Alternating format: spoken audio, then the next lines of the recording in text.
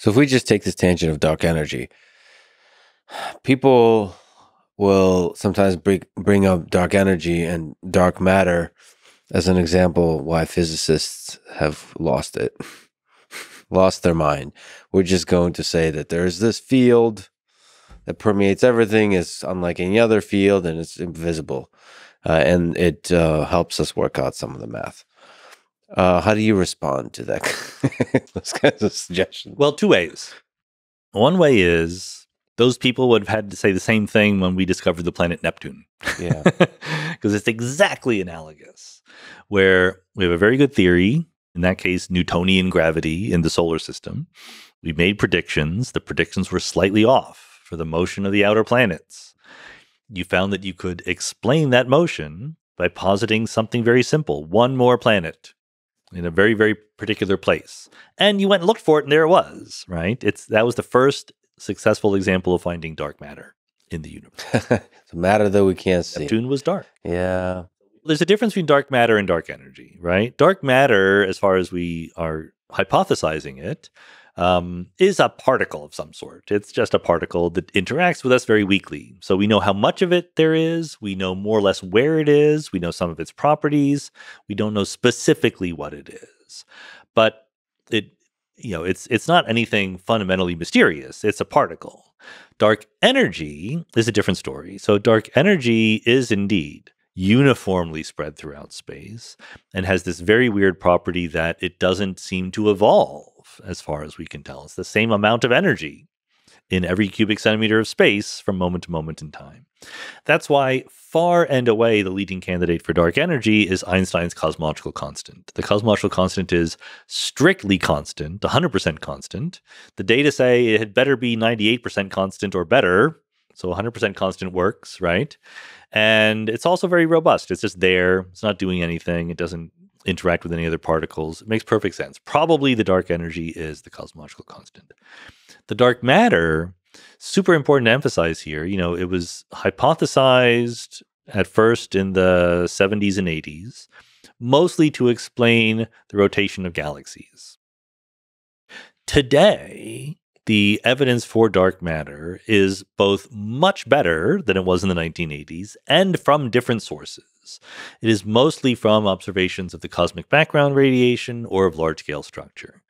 So we have multiple independent lines of evidence, also gravitational lensing and things like that. Many, many pieces of evidence that say that dark matter is there, um, and and also that say that the effects of dark matter are different than if we modified gravity. So, that, so that was my first answer to your question: is dark matter uh, we have a lot of evidence for, but the other one is, of course, we would love it if it weren't dark matter. Our vested interest is 100% aligned with it being something more cool and interesting than dark matter because dark matter is just a particle. That's the most boring thing in the world. And it's uh, non-uniformly distributed through space, dark matter. Absolutely. Yeah. And so this You can even see maps of it that we've constructed from gravitational lensing. So verifiable sort of clumps of dark matter in the galaxy that explain stuff. Bigger than the galaxy, sadly. Like we think that in the galaxy dark matter is lumpy, but it's it's just it's weaker. Its effects are weaker. But on the scale of large scale structure and clusters of galaxies and things like that, yes, we can show you where the dark matter is. Could there be a super cool explanation for dark matter that would be interesting as opposed to just another particle that, that sits there in clumps? The super cool explanation would be modifying gravity rather than inventing a new particle.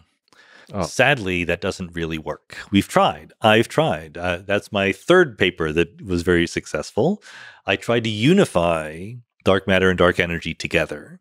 That was my idea. Uh, That was, that was my aspiration, not even idea. I tried to do it. It failed even before we wrote the paper. I realized that my idea did not help. It helps, it could possibly explain away the dark energy, but it would not explain away the dark matter. And so I thought it was not that interesting, actually. And then two different collaborators of mine said, Has anyone thought of this idea? Like they had thought of exactly the same idea completely independently of me. And I said, Well, if three different people found the same idea, maybe it is interesting. And so we wrote the paper. and yeah, it was very interesting. People are very interested in Can it. you describe this th- this paper a little bit? Like it's just It's it's fascinating how much of a thing there is, dark energy and dark matter, and we Mhm. don't quite understand it. So, what what was your dive into the exploring how to unify the two?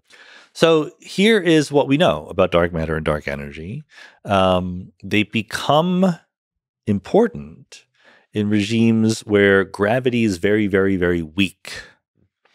That's kind of the opposite from what you would expect if you actually were modifying gravity. Like there's a rule of thumb in quantum field theory, et cetera, that new effects show up when the effects are strong, right? We uh, we understand weak fields, we don't understand strong fields. But okay, maybe this is different, right? So, what do I mean by when gravity is weak? The dark energy shows up late in the history of the universe. Early in the history of the universe, the dark energy is irrelevant. But remember, the density of dark energy stays constant.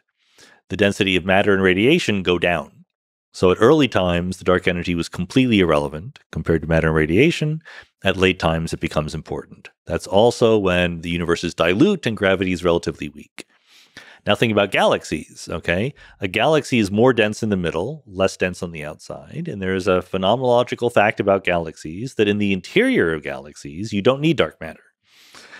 That's not so surprising because the density of stars and gas is very high there, and the dark matter is just subdominant. But then there's generally a uh, a radius inside of which you don't need dark matter to fit the data, outside of which you do need dark matter to fit the data. So that's again when gravity is weak, right?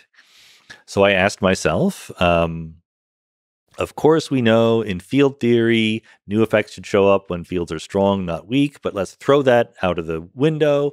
Can I write down a theory where gravity alters when it is weak? And we've already said what gravity is. What is gravity? It's the curvature of spacetime. So there are mathematical quantities that measure the curvature of space time. And generally, you would say, like, I have an understanding Einstein's equation, which I explained to the readers in the book, um, relates the curvature of space time to matter and energy. The more matter and energy, the more curvature. So I'm saying, what if you add a new term in there that says the less matter and energy, the more curvature? No reason to do that Mm-hmm. except to fit the data, right? So I tried to unify the need for dark matter and the need for dark energy. That would be really cool if that was the case. Like, Super cool, right? It'd be the best. It'd be great. but it, it'd It be didn't work. but it'd be really interesting if gravity did something funky when uh when when there's not much of it. Like the, almost like at the edges of it, it gets Yeah. like noisy. That was exactly the hope, right? but Oh the great thing about physics is there are equations, right? I mean, you can come up with the words and you can wave your hands, but then you got to write down the equations, and I did. And I figured out that it could help with the dark energy, the acceleration of the universe. It doesn't help with dark matter at all. Yeah. it just sucks that at the scale of galaxies and scale of solar systems, uh, the physics is kind of boring. Yeah, it does. I agree.